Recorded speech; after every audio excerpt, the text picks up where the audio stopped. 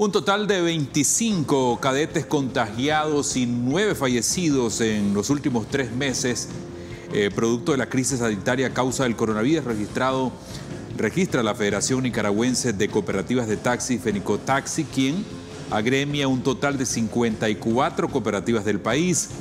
El representante del sector selectivo informó también que la semana pasada estuvieron hospitalizados cuatro conductores de taxi, sin embargo, dos mostraron signos de recuperación y se encuentran en reposo en sus casas. Bajo este escenario, el sector reporta que desde que se presentó el primer caso de COVID-19 en Nicaragua, el servicio al usuario ha caído hasta un 50%, provocando que muchos cadetes entreguen sus unidades mientras que los concesionarios están vendiendo sus taxis debido a que tienen retraso en sus cuotas de pagos con los bancos y microfinancieras.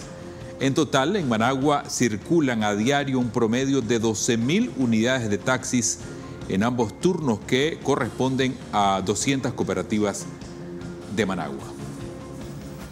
La situación de la información que hemos logrado recopilar nosotros es que hasta la fecha tenemos alrededor de 25 compañeros afectados.